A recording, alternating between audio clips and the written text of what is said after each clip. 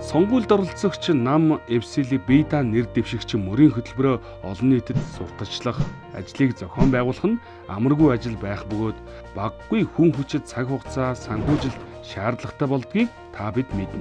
Энэхүү сонгуулийн санхүүжилтийн асуудал нь авилгын эрсдлийг үүсгэж байдаг томоохон асуудлын нэг. Таны сонгож илгээж буй улс төрийн албан тушаалтан альва шийдвэр гаргах үйл ажиллагааг явуулахдаа улс их орны ашигыг хангахын төлөө ажиллаж байна уу?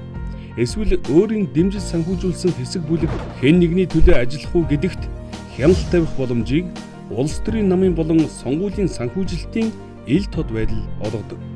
Нөгөө талаас аливаа нам эвсэлийн нэр дэвшигч нь хууль тогтоомжийн дагуу намынхаа санхүүжилт болон сонгуулийн зардлын тухай тайлан мэдээг үн шударгаар гаргаж эрх бүхий хяналт шалгалтын байгууллагад мэдүүлэх үүрэгтэй. Тийм учраас хуулиа биелүүлж шударгаар өрсөлдөе. Харин иргэд бид сонгуультай идэвхтэй оролцож хариуцлагатай сонголт хий.